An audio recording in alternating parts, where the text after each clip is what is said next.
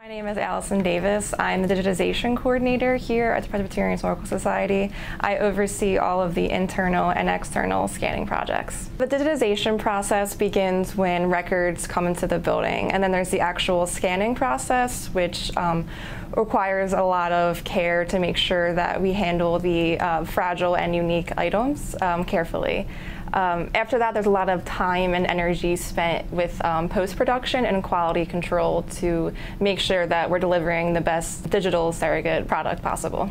The final product is a PDF, which is delivered to a church via electronic file transfer or via a USB drive. And then once the product is delivered to the church, we preserve copies of the files here at PHS.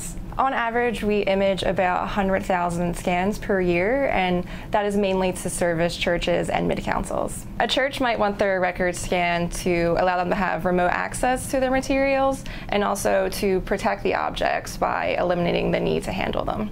For congregations interested in digitizing their own materials, I recommend contacting us at PHS first. Our recent job for the First Presbyterian Church in New York City was over 10,000 pages and nearly 50 volumes of records dating back through the early 19th century. Uh, the First Church was organized in 1716, and its first building was constructed on Wall Street downtown in 1719. In the 19th century, the church followed migration patterns north along the island of Manhattan um, and settled on uh, Fifth Avenue in the middle of the 19th century. To contemporary audiences, First Church's history is significant as one of the prime sites of the modernist fundamentalist controversy. And uh, First's pastor, Harry Emerson Fosdick, was a key figure um, in the theological modernist movement. He gave a series of sermons in the 1920s, um, including uh, Shall the Fundamentalists Win?